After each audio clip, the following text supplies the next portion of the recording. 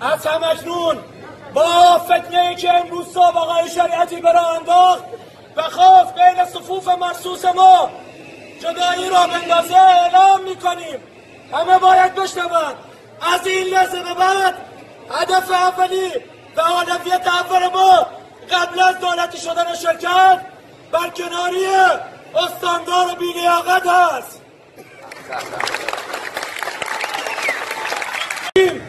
اگر تا پایان این هفته کاری برای شرکت گرومبلی فولاد است آواز انجام دادید که انجام دادید. وگر انجام ندادید از هفته آینده منتظر بیش از 1500 کارگر در شهرهای تهران خواهید بود. دوستان عزیز همه دستا مش کرده بالا. اعلام می‌کنیم.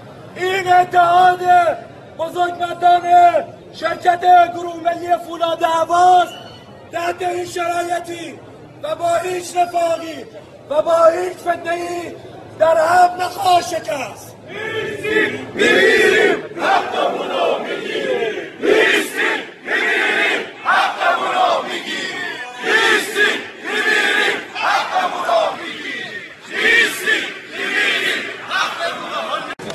ما با آقای شریعتی میگیم. جناب عالی الان چهار ساله و همکنون سی پنج روزه این حقو به خودت ندادی.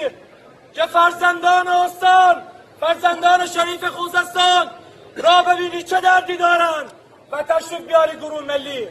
آقای عزیز ما سه هفته است هر پنج شنبه تیروبون های آزاد برگزار کردیم. ولی آقای شریعتی نمایندگان خود را فرستاد و این حق به خودش نداد که تو تریبون آزاد ما شرکت کنند. چرا؟ چون طبق فیلم های منتشر شده خود از جز از فک از این و کشوره. مافیا مافیا مافیا! مافیا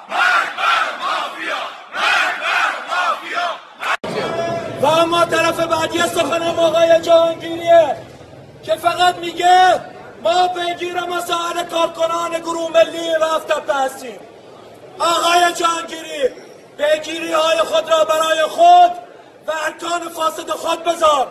چون اگر جناب عالی ذره شرف ذره وجدان داشتی موقعی که وارد شهر عواز شدی به جای که وارد افتتاح استادیوم فولاده آرنا می شدی می اومدی به کارگران گروه ملی که در اون موقع بیش از 18 روز تو که خفه خیابون فریاد می زدن فریاد دادخواهی می زدن می اومدی و می دیدی فرزندان ایسان چی می خواهند ولی با این کار شما نشان دادید همتون اهرام فساد هستید و همتون جزی از ارکان مافیا و فقط این که صحبت های اربابان خیش را می‌خواید در استان با شرفی مثل استان خودستان ارائه بدید و ما مردم خوزستان و کل صنعت خوزستان اعلام می‌کنیم.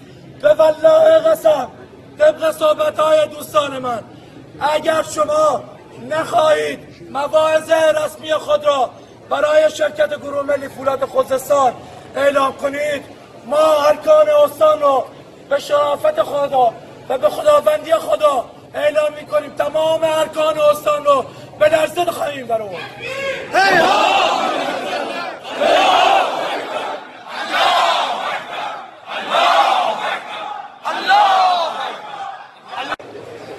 اول سخنم با نیروهای انتظامیه.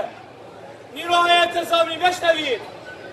دیروز و امروز صفوف خود را در مقابل کارگر در مقابل حق که بیش از پنج سال خورده شده نگه داشتید بیش از پنج ساله. امروز این صفوف شما باید در مقابل کسانی بیستید که امروز خوزستان و خوزستانی جماعت رو به نابودی کشوندن. امروز صفوف شما باید در مقابل مافیایی باشد که کشور را به یغما برده. امروز صفوف شما نباید در مقابل من کارگر بیستید. من کارگر گروه ملی پنج سال دارم مقاومت می‌کنم. پنج ساله. آقای نیروی انتظامی بشنو. و اما سخنم امروز با کسانی که بذر نفاق و از اوایل صبح امروز داشتن بین همکارای من میکشتن. همیشه مزرعه داران اربابان به خاطر اینکه مزرعه های خود را از شر پرندگان پرندگانی که به آنها آسیب میرسونند متسک هایی درون مزارع خود نگه میدارند.